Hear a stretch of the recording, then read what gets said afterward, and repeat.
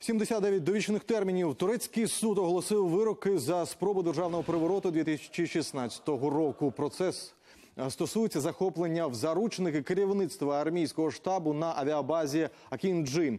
Під слідством майже пів тисячі людей. Покарання вже призначено колишньому командиру бази та кільком льотчикам, а ще чотирьом цивільним імамам, які за даними обвинувачення планували заколот за вказівкою Фетхуллаха Гюлена.